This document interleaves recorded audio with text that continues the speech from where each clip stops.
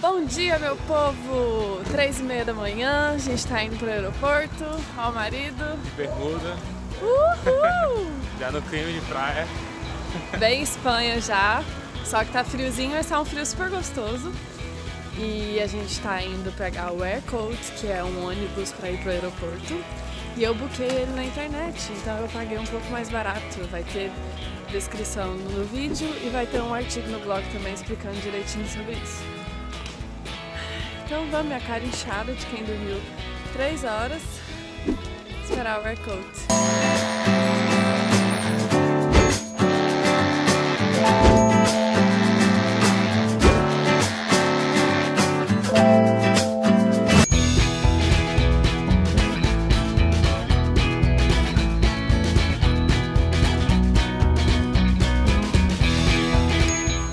Ó, a água aqui no aeroporto é um euro, não tem nenhuma supervisão. Você vai, coloca seu um euro aqui, pega sua água, segue o baile.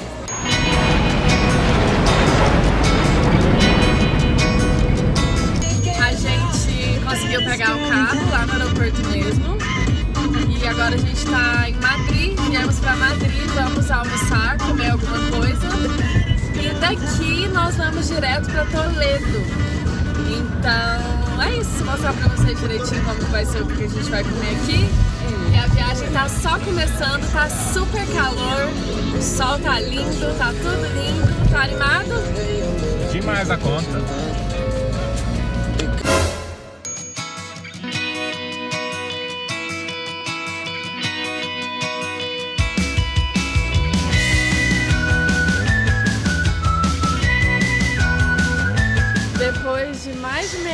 Tentando estacionar, muito difícil estacionar aqui. Gente do céu, não tem vaga em lugar nenhum.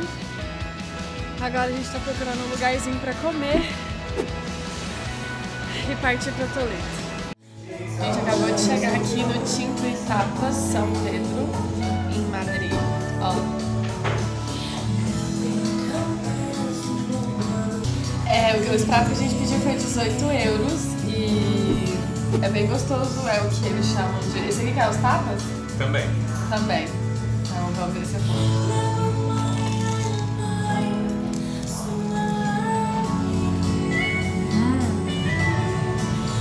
Comemos e agora partiu Toledo.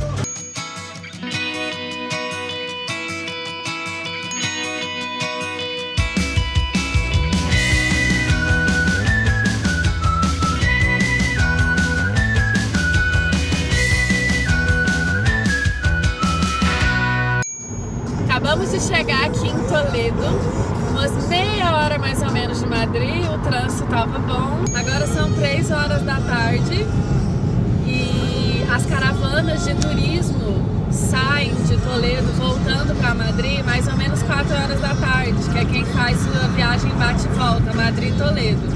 Então eu tô na esperança da cidade estar mais vazia e assim eu vou conseguir aproveitar mais os pontos turísticos. Nós vamos dormir em Toledo o ponto positivo do verão é que o sol vai embora, se põe bem mais tarde, então umas 8 horas da noite ainda tem um pouco de sol. Nós vamos aproveitar essa oportunidade para filmar, tirar foto e curtir Toledo. Viemos no nosso Airbnb para deixar a mala e organizar tudo direitinho. Vou mostrar para vocês agora a vista do Airbnb. E olha, que gracinha. Isso aqui é um pouquinho de Toledo. Agora vamos turistar, a gente não pode perder tempo.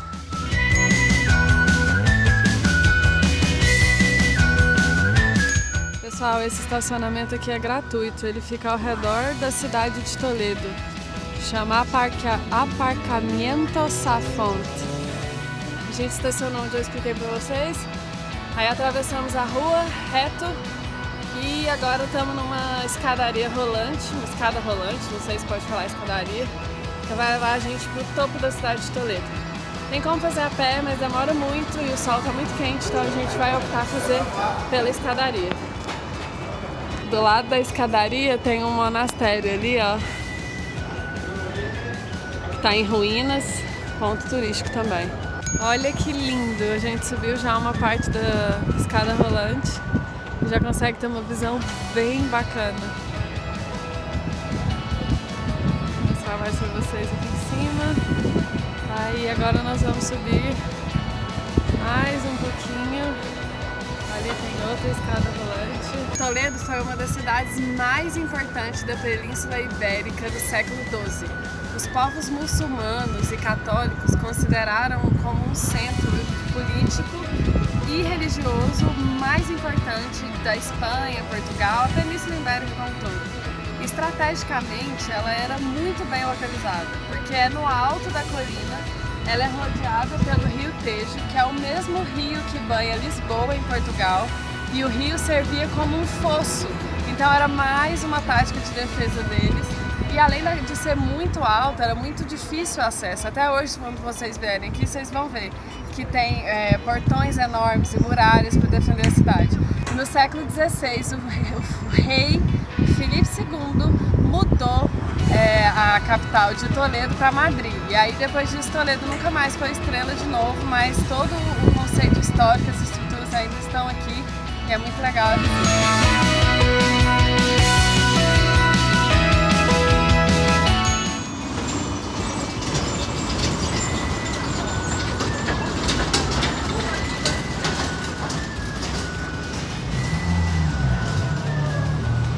Isso aqui é aquele trenzinho que eu filmei pra vocês, ó. Chama Toledo Train Vision. Ó, os horários, a frequência e o site. Pra você buscar caso vocês tenham interesse. Chegamos aqui agora na Praça Zokodover, Zodokover, não sei como pronuncia, que é um centro de encontro que tem muitas lojas, muitos restaurantes e sempre tem muita gente por aqui. Vou filmar mais ou menos periférico para mostrar para vocês agora.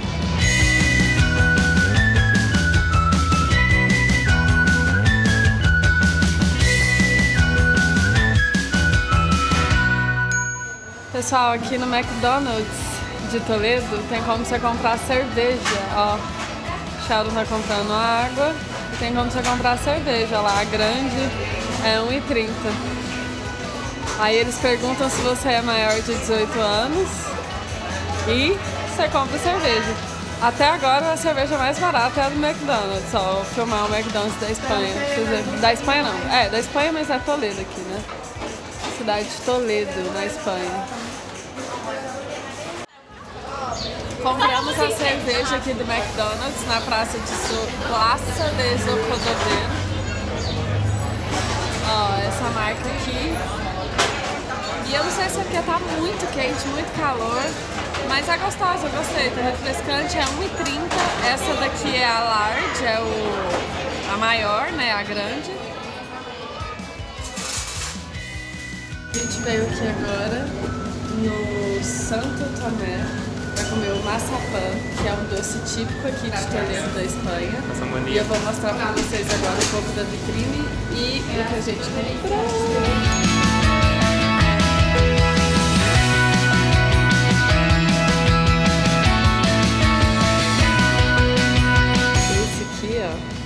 Bolsas delícias minhas de 2,40 são os maçapãs tradicionais, que é um doce típico aqui de Toledo. E a gente comprou e eu vou comer depois e vou falar pra vocês se é gostoso ou não. Pessoal, essa daqui é a praça que eu falei pra vocês agora. E esse daqui é o Santo Tomé que é o lugar que tem o maçapã mais procurado e super tradicional aqui de Toledo, que é onde eu filmei pra vocês dentro. Essa aqui é a porta, fica em frente à praça que eu falei pra vocês. Que é a mesma praça que tem o McDonald's que eu comprei a cerveja de 1,30 e tal. A gente tá numa ruinha aqui, ainda andando por Toledo, nós estamos a caminho de uma igreja. E olha a loja que eu encontrei. Ó, é uma loja de armas. O ferro de Toledo, ele é muito bem avaliado. Não sei explicar, teoricamente, por quê. Mas sempre foi um ferro cobiçado por todos os reinos e povos. Aí nessa loja aqui, simplesmente tem a arma do a espada do Frodo do Game of Thrones. Olha aqui, gente. Todas as espadas. A espada do Jon Snow. Ah, olha a espada do Jon Snow. Ai, gente, se eu tivesse dinheiro, vocês sabem que eu ia ficar pobre rapidinho, né? Deus não dá asa à cobra. Por isso que eu não tenho dinheiro. Deus sabe das coisas, né? Né, amor? É. Agora vamos subir aqui a câmera. Olha! Meu Deus do céu! Sabe o que é o melhor? Que isso daqui tem milhares, milhares, milhares de anos. Ai, a Espanha é demais, gente. Só tem uma coisa a dizer. A Espanha é incrível. É quente, é bom de ficar, igual o Brasil, o povo é alegre, animado, te recebe super bem, quer conversar com você sobre tudo. E ainda por cima é tudo lindo, tudo histórico. Tô apaixonada, de verdade. Danos hoy nuestro pan de cada día, perdona nuestras ofensas, como también nosotros perdonamos a los que nos ofenden. No nos dejes caer en la tentación y líbranos Gente, eu tô numa mesquita de la Cruz, de Jesus da Luz. Vou escrever pra vocês depois. E olha aqui, essa é a porta da mesquita. Em frente à mesquita tem um único paralelepípedo branco. Isso está para vocês verem. Esse paralelepípedo, segundo a lenda, marca exatamente onde o cavalo do rei João VI, se eu não me engano, empacou e ele achou que isso era um sinal divino. E aí ele parou, ordenou que derrubasse uma porta da igreja e colocou ali, escavou ali a sua espada e a sua coroa e fez várias coisas que vai estar explicadinho no blog do Maria Quer Viajar. Entra lá para conferir. Lembra que eu falei para vocês que Toledo era tipo um forte bem estratégico, feito para defesa? Então, as muralhas e os portões ainda estão aqui. Esse portão aqui é a Puerta Nueva de Bisagra. E aqui que eram as muralhas, vou mostrar para vocês agora. Essa daqui é considerada a porta principal de Toledo. Olha, eu vou entrar aqui para vocês. Ó, o que tem aqui dentro é uma estátua. Isso aqui era muralha, isso aqui tudo era fechado. Para entrar nesse portão aqui, era uma guerra, tinha burocracia enorme. Deixa eu mostrar para vocês mais ali dentro, porque tem um tipo um monastério. Eu não sei muito bem o que significa, mas eu quero que vocês vejam mesmo assim. Ó, aqui tem uma grade com espaço. Aí aqui é a entrada já é Toledo, já é a cidade. E aqui tá fechado, não dá pra entrar lá dentro. Tem essa pedra, ó, com essa escrita. Legal, né?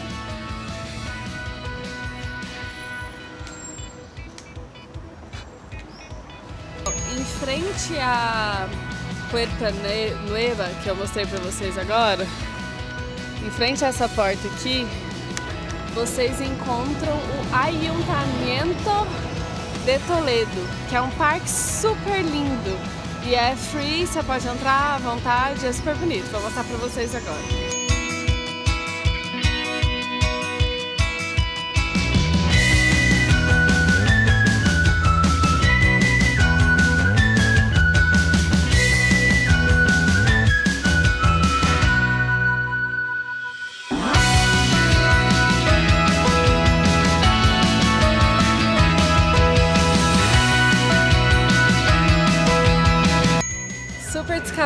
Já, mas a gente terminou tudo que a gente tinha que fazer. Alguns não deu tempo, mas eu mostrei tudo pra vocês.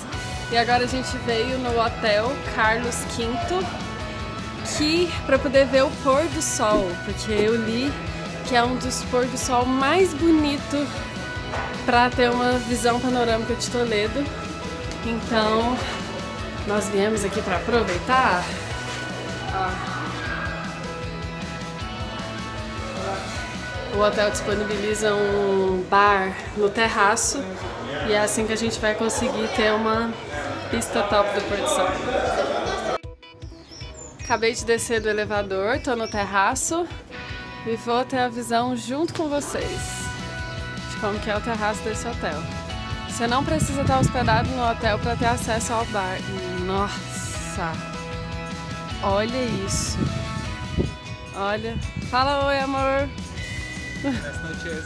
Buenas noches. Já é quantas horas? Oito e? Oito a Oito e algumas. É o novo horário que o Sheldon estabeleceu. Olha, olha a mesa. Que lindo. Agora eu vou mostrar a vista pra vocês. Ó. A gente vai ficar aqui até o pôr do sol. Eu vou filmar pra vocês. Vou ver se eu faço um time-lapse.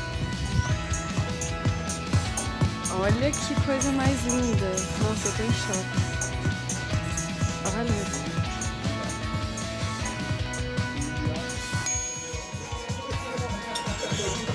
Esse é o pôr do sol que a gente está assistindo. Eu tentei fazer um time-lapse, mas não deu certo. Vou continuar tentando. Se eu conseguir, vocês vão ver. Aí a gente pediu essa cerveja, que é muito tradicional daqui. Sheldon, qual cerveja que você pediu, amor? Hã? Alhambra, cerveja tradicional. Alhambra. E aí eles dão esses negocinho. Essa cerveja foi 3 euros, aquela foi 4 euros. Esse aqui é o suporte do time-lapse que a gente está tentando fazer. E essa é a vista que a gente tem. Agora são 15 para as 10 da noite. E o sol praticamente foi embora com mais ou menos o sol. Eles ligaram até as luzinhas aqui.